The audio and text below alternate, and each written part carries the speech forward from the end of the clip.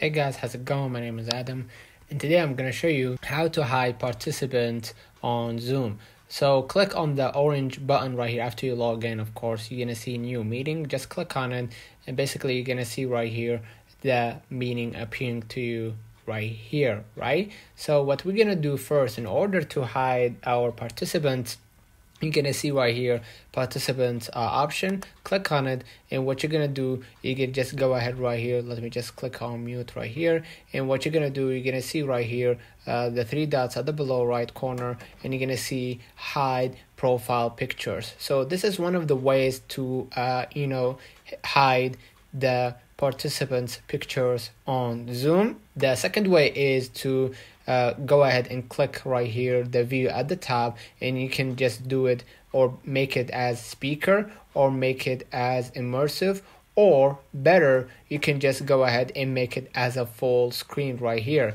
So what's gonna happen is only the people who are participated in your own zoom call or zoom meeting will be able to see the full screen without seeing the participants. Another way of doing it you could just click on view at the top right and you're gonna see right here hide non-video participants that will allow you to uh, hide the people who are participated in this meeting with their video or on. So basically you can just do that by clicking hide non-video participants and that should should be good.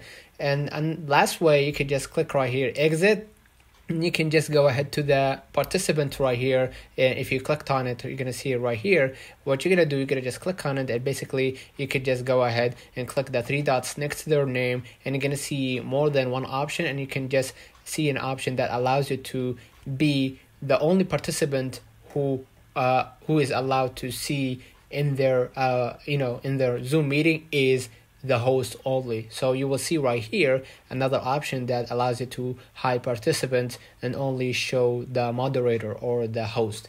Let me know in the comments if this video helped you. Don't forget to like and subscribe. Thank you for watching.